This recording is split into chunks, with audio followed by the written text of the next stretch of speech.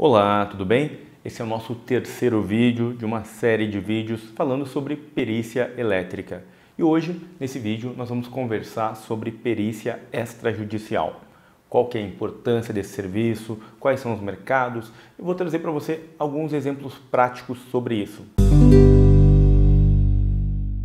Nesse primeiro exemplo, nós vamos conversar sobre certificação das instalações elétricas. Como que surge essa demanda? Você precisa conhecer essa realidade e olhar de uma maneira um pouco diferente. Vamos imaginar a seguinte situação. Uma construtora fez um prédio, contratou diversos profissionais para fazer os projetos e também para executarem essas obras. O dono de uma dessas empresas de execução contratou um profissional para comprar o material, outro para fazer a execução das instalações elétricas. Os moradores, ao comprar esses apartamentos, elegeram um síndico. Logo após, começaram a ter uma série de problemas: equipamentos queimando, circuito que não funcionava, cheiro de queimado, conta de energia extremamente elevada. O que acontece na prática? Muitas vezes a construtora acaba negligenciando as normas técnicas que obriga a instalação de determinados materiais. Deixa eu te dar um exemplo prático. O interruptor diferencial residual é um dispositivo obrigatório, muitas vezes negligenciado durante a instalação, porque tem um valor extremamente elevado, entre aspas. Eles desconsideram que é um equipamento que pode salvar vidas. E é claro que a construtora, cada vez que ela deixa de utilizar um material adequado, ela acaba se beneficiando, maximizando o seu lucro em relação àquela obra.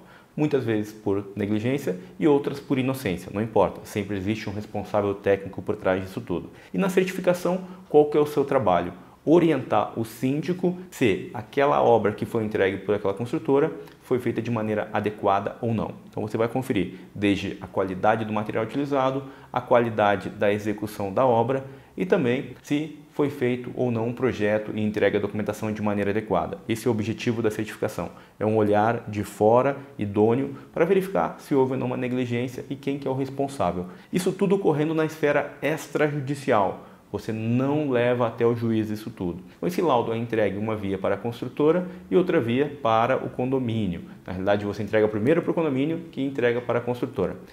Feito isso, a construtora, ao receber seu parecer técnico, ela acaba optando por fazer as adequações ou não. Se ela não fizer essas adequações, aí sim o condomínio pode entrar com uma ação judicial exigindo que a construtora faça essas adequações. Muitas vezes não é necessário, então todo o acordo ele é feito no trâmite extrajudicial. Um outro serviço muito importante, como sendo extrajudicial, feito por um perito, são os laudos para condomínios residenciais. Em alguns estados são exigidos até mesmo de maneira obrigatória com uma certa periodicidade. Por exemplo, vamos pensar na seguinte situação. O síndico de um condomínio, ao assumir como síndico, ele tem uma responsabilidade civil e criminal. Se acontecer algum acidente dentro de um condomínio por uma negligência nas instalações elétricas, ele pode responder por isso. Para evitar qualquer problema dessa natureza, ele precisa contratar um especialista, um perito, para fazer um diagnóstico e montar um plano de ação em relação às adequações que precisam ser feitas. Nesse diagnóstico, você vai apresentar para o síndico desse condomínio por onde ele deve começar, quais são os itens mais críticos, o que, que envolve a parte estética, geralmente os síndicos e os moradores acabam ficando muito mais focados nesse contexto, e o que está relacionado com a segurança dos moradores e dos usuários daquela edificação. Esse é o seu trabalho, diagnosticar toda a instalação elétrica e apresentar um relatório completo mostrando quais são os riscos que existem naquela edificação. Isso é um laudo extrajudicial. Serviços esses feitos por peritos com o objetivo de apresentar um diagnóstico ao morador sem correr na esfera judicial. O juiz não tem conhecimento disso tudo.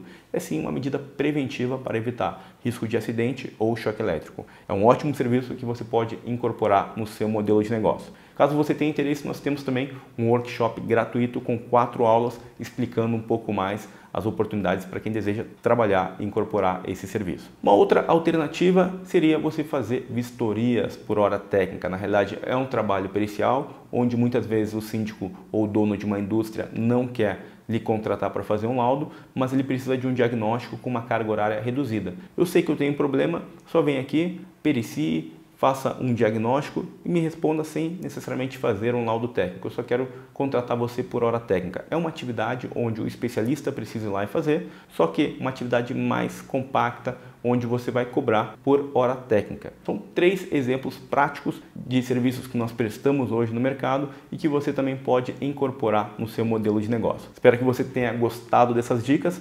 Vamos agora para o próximo vídeo falando sobre perícia judicial. Um grande abraço e até mais.